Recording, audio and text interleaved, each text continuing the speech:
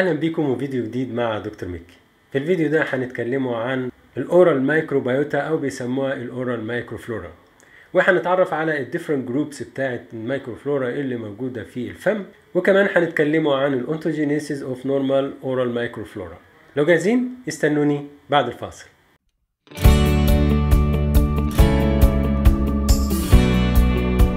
أهلا بيكم زي ما أنتم عارفين إن ال oral cavity ده يعتبر very good condition للنمو وال propagation بتاع different microbes زي البكتيريا والفيروس وال protozoa وكمان even حتى بعض الفيروسات.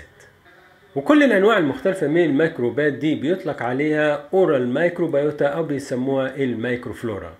وأغلب الكائنات اللي موجودة في ال oral cavity هي عبارة عن البكتيريا أكتر من الفطريات و other microbes والبكتيريا دي طبعا بتتواجد في تجمعات هذه التجمعات بيطلق عليها mixed microflora وأيضا بتتواجد في صورة aerobic and anaerobic وال aerobic bacteria هي البكتيريا اللي بتحتاج الأكسجين للنمو.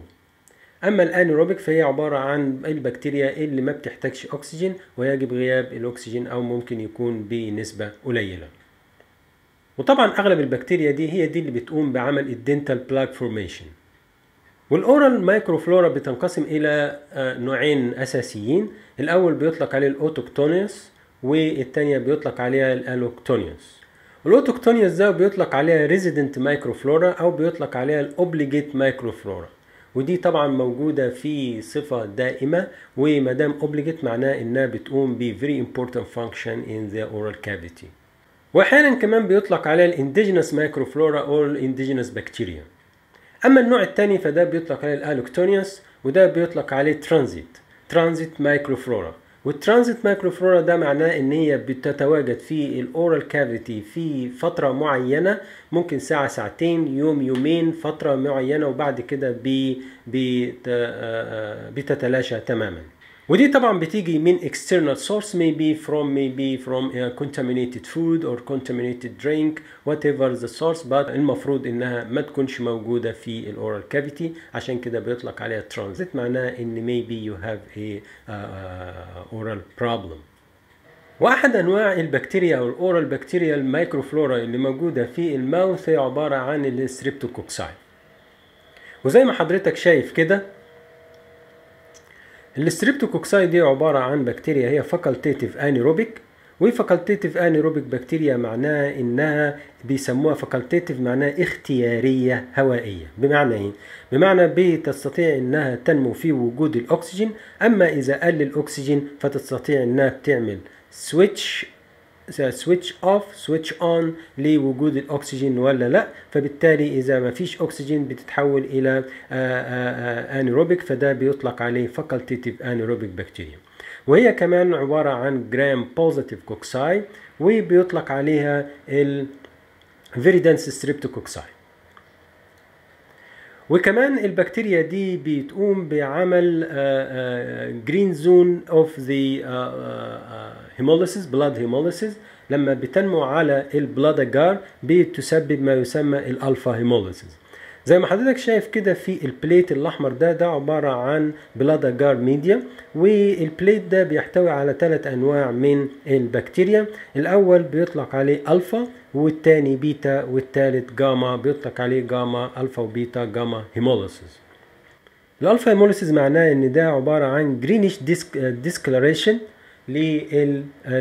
لل blood وبيطلق عليه ال partial hemolysis لل RBCs فبالتالي بيتكون اللون الأخضر اللي موجود ده. أما ال beta hemolysis اللي هي على إيدك اليمين دي وحوالين البكتيريا إنه البكتيريا ال growth في clear zone clear zone ده معناه حصل complete hemolysis لل RBCs وده طبعا نوع تاني مختلف من البكتيريا أما الجاما فهو عبارة عن بس البكتيريا استطاعت إنها تنمو بدون أي تغير في ال color أو حتى ظهور أي clear zone على ال blood agar plate وكمان من أحد ال characterization بتاعة ال streptococci دي إنها بتستطيع إنها بتعمل production لل hydrogen peroxide وكمان قادرة على إنها بتعمل ferment لبعض الكربوهيدرات فبالتالي ال fermentation بتؤدي إلى production of some acids. These acids طبعا بي بي بيحصل لها إن بي بتعمل ال dental demineralization وكمان بتعمل ال teeth decay دي كانت بعض الصفات بتاعه ال streptococci اللي موجودة في ال oral cavity تعال نشوف بقى ال dental microflora also كمان بتنقسم إلى نوعين من نوعين أساسيين على حسب gram stain. لو حضرتك بصيت كده هتبص تلاقيها بتنقسم إلى نوعين.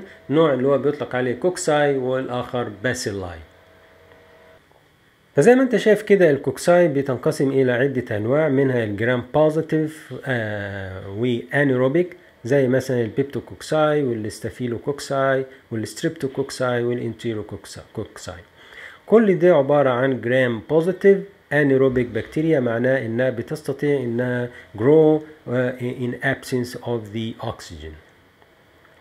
وكمان في أنواع cocci برضو ولكنها gram positive بس ايروبيك أن أي أنها بتحتاج الأكسجين في ال growth أو النمو زي ال micrococcus وكمان في أنواع من ال gram negative anaerobic زي ال Fusobacterium وال Veillonella أما النوع الثاني فهي عبارة عن microflora أو bacterial أو oral bacterial microflora ودي عبارة عن bacilli وفي منها ال gram positive facultative anaerobic بكتيريا زي ال lactobacillus وال lactobacillus دي very common في ال oral cavity ودي بتتواجد في ال caries lesions وكمان في نوع تاني من البكتيريا بيطلق عليه ال Corynebacteria.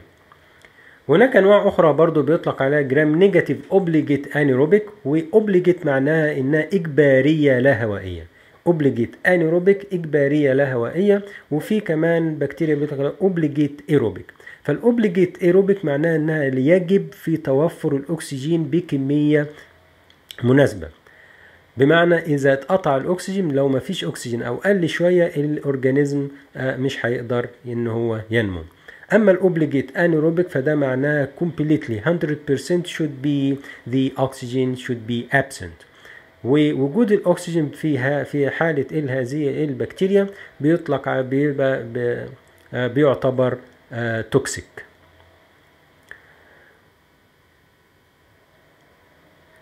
وال gram negative obligate anaerobic بكتيريا زي مثلا عندك ال Bacteroides وال Fusobacteria وال spirochete. وال spirochetes دي اللي هي بتعمل disease بيطلق عليه السيفلس أو ده عبارة عن sexual disease وفي كمان أنواع كتير من ال Treponema. وال Leptospira وال Leptospira دي لكن الكاتاليز إنها لا تستطيع إنها produce catalase enzyme وال catalase enzyme ده اللي هو بيستطيع إن هو يعمل break down لل H2O2 لاكسجين and H2O والحاجات دي المفروض حضرتك برضو هتاخدها في ال lab. وفي كمان أنواع أخرى من البكتيريا anaerobic برضو موجودة في ال gingival crevices وال subgingival areas وفي كمان بعض الكانديدا أو بيسموها الخماير هي أحد الفطريات برضو بتتواجد أو بيحصل لها colonization في, ال oral mucosa ودي بتبقى in close in the interrelationship with the bacteria اللي موجودة في ال oral cavity تعالوا نشوف بقى إيه هو ال ontogenesis of normal oral microflora يعني إيه ontogenesis ontogenesis معناه عبارة عن formation of ال microflora منذ ولادة ال baby من أول الولادة. هل بيبقى في microflora ولا لا؟ البكتيريا بتستطيع إنها تدخل ال oral cavity بتاع ال baby من أول الولادة. قبل الولادة usually microbiologically sterile.